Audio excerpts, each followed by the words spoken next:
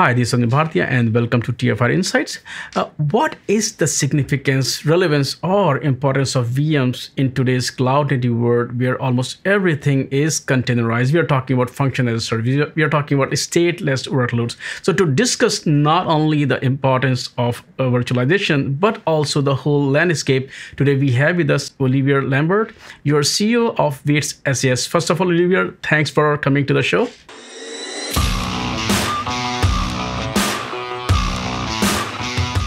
Tell us a bit about the company itself. What do you guys do?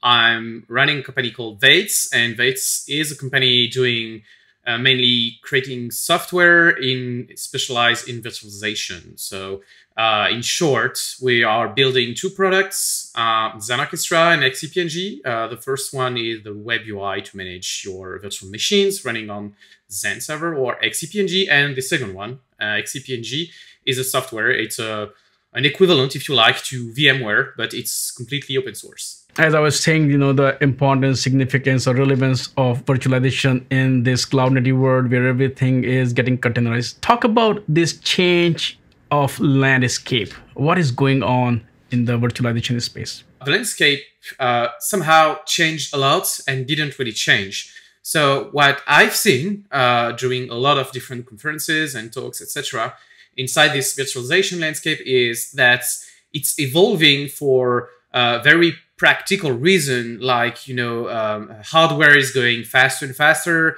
uh, there is some new use cases etc and as you said there is a, a very strong uh, i would say context uh, around all the containers thing etc but what we've seen is that uh, uh, people are really using virtualization since i would say uh, now uh, uh, 15 years. So it's something people are used to, and somehow uh, uh, it's here to stay for a lot of reasons. And we are seeing more and more deployments where uh, you have both container and virtualization. So I would say virtualization in in in a way is a layer that's are really still useful for a lot of reasons like security, flexibility, that kind of stuff. and, and I would say it's uh, like the hardware, then you have virtualization, and now you have containers. But they are all working together uh, to giving a really nice solution built around all of that. I don't think it's going to be a VM versus containerized world. You know, it will continue to remain a, a mix of both. Yeah, exactly, and, and it makes sense because uh, not everyone got some, you know, uh, requirements to be scalable on, you know, worldwide in one night or that kind of stuff. There are some companies who really need to have container flexibility and have, you know, cloud native apps, and it makes sense. And for them, uh, uh, the I would say the layer on the bottom doesn't really matter. But in fact, they are probably using virtualization without even noticing it or knowing because large cloud provider are also using virtualization behind the scene. But any case, uh, uh, there are still so many use case for uh, using uh, VMs uh, uh, uh, for your data, for your own administration stuff, for your network, for a lot of reasons where virtualization is really, really here to stay. And I would say also uh, it's now even entering some uh, unexpected worlds like, you know, embed world, automotive, and that kind of things because it's a convenient way to you know segment resources it isolates resources in a really efficient manner with a lot of security that you can't really achieve with containers. So uh, again uh, there's so many use case for virtualization so it won't disappear. What i do see in the market the landscape is changing. Um, you mentioned um, vmware. Now vmware you know while they do have VMware, but they also now own Pivotal, Heptio, and a lot of uh, technologies that are heavily invested in cloud, uh, sorry, containerized world, you know, Kubernetes and all those things. So there, there there's a mix. So so the, the, the, chemistry is is is kind of evolving and changing. Exactly, and, and I think uh, a good answer to those container requirement is to improve the integration between all those tools uh, because they are made to, to really work together. Because, for example, uh, uh, as a system administrator, you don't have to deal uh, with uh, directly, you know, if you want to deploy new nodes for your, for example, Kubernetes containers and that and so on, uh, you can just, you know, deploy VMs to to contain them or uh, you know, to, to don't have to manage directly the hardware if you are just on top of the hardware. So uh, uh, right now, the I would say the main challenges for virtualization is not to still be relevant. It's to be secure, to keep the security. And you know, security is something really important nowadays, especially after all the Intel, you know, meltdown and spec, etc., etc. So isolation is a really hot topic. So this is also a place where virtualization could be uh, really useful. But uh, in other hand, it's not just about uh, uh, isolation. It's all about flexibility, not having, you know, to rely on really specific hardware, but uh, uh, the big the big perk with virtualization is that you are able to use something that's pretty generic. So your teams working on whatever cloud native programs don't have to think about what's the hardware uh, beneath uh, their application. Now let's change the topics for a while and just talk about Vates and the company and the projects. You are, you know, heavily involved with uh, the Xen project. Tell us a bit about your involvement with the project and the community and the Linux Foundation. XCP-ng project was incubated inside the Linux Foundation uh, six months ago, something like that. Um, our goal was to be sure that our effort to create a really community-built uh, uh, virtualization platform uh, wasn't only an effort made by us, by Vates, uh, because unlike some others company, uh, uh, we really are doing open source from the start, from the roots.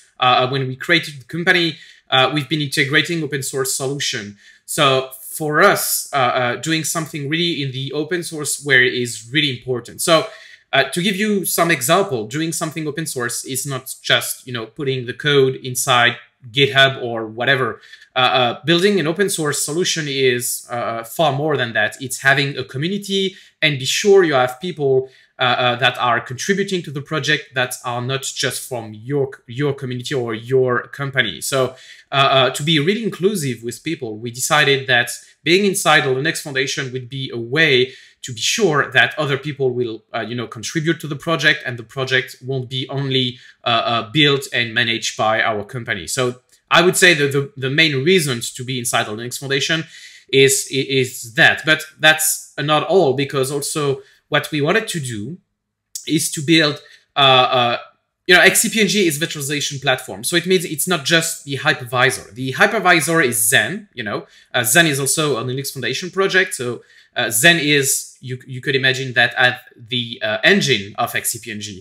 So for us, it was also a way to build bridges between the Xen community, which is a, a really a great uh, developer community.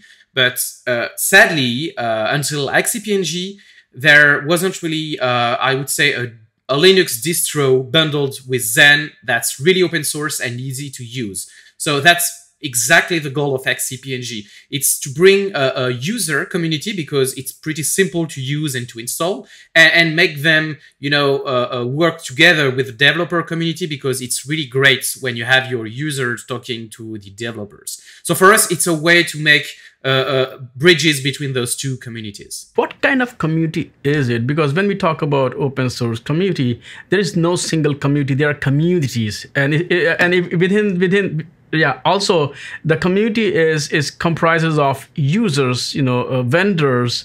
Uh, so it's it's less of a community it's more of an ecosystem where you have users who just consume the project. There are vendors who try to commercialize the projects. And then there are you know developers that big companies uh, allocate just for the sake of ecosystem because they are leveraging they, they may not offer direct solutions but they are leveraging a lot of things on top of that. So talk a bit about the community aspect of it. As you said it's it's more an ecosystem than uh, one community. So you're right. So so I would say that right now the uh, growing the ecosystem is one of our priority, and also be part of the Linux Foundation is one step further to do that.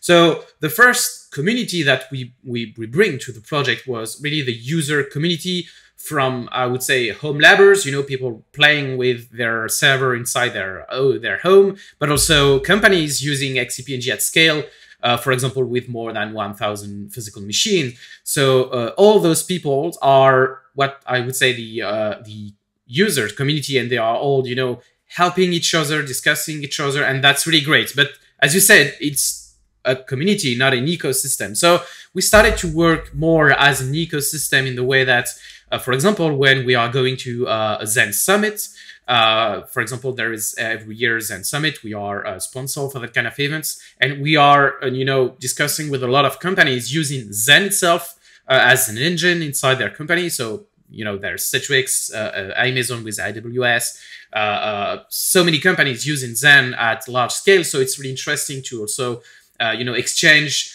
your feedback about using Xen on the field, but also we are directly working with others company to to have more integration of their uh, solution, their open source products directly inside XCP-ng. So to give you an example, uh, we are working with uh, a storage company called Linbit. Uh, it's a company who've made a DRBD uh, program, which is a, a block replication uh, system.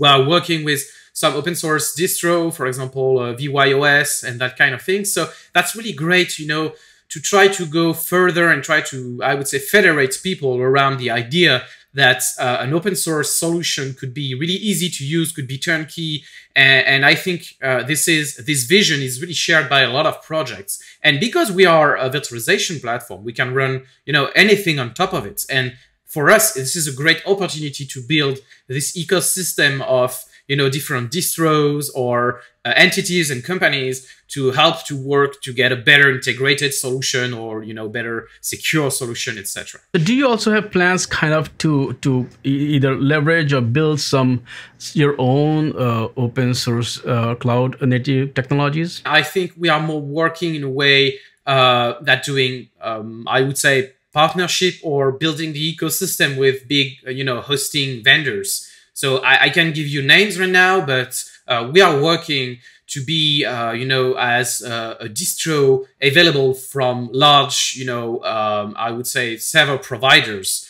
And also we have some, uh, you know, services uh, on xcpng.com slash cloud, if I remember correctly, uh, where we can, you know, get the hardware for you, uh, set up everything for you, and you just have, you know, the keys of the system that's just up and running. So we are preparing for that kind of things, but uh, uh, our core business is to be a software editor. So that's why for us, it, it makes sense, you know, to, to partner with some integrators or, you know, hosting providers because uh, um, you, you may know that uh, even if there is the big you know public cloud uh, uh, actors like AWS or, or, or Microsoft or Google, uh, uh there is a lot of uh, uh, people asking for you know having space to host whatever it's their own hardware or an integrated hardware. But you know, data center, I would say uh, run to be able to build the, the most the biggest number of data center in one year. There's so many companies on tracks doing that. So it means that it's not only big cloud providers that are required to do the future of the it it's also all the other company who want to do that but in a more private way i would say. Oliver thank you so much for taking the time out today and uh, sitting down here and talking to me about the how the whole landscape is changing about vms and containers and how, how these two technologies will continue to coexist despite all those things that hey DAX is going away and why we always hear that but that is not what reality happens because sometimes we always chase the the shiny object in the market. But I I, I look forward to talk to you again uh, because you know you have a lot of you know exciting projects in your pipeline and I would love to talk to you again. Thank you. Thank you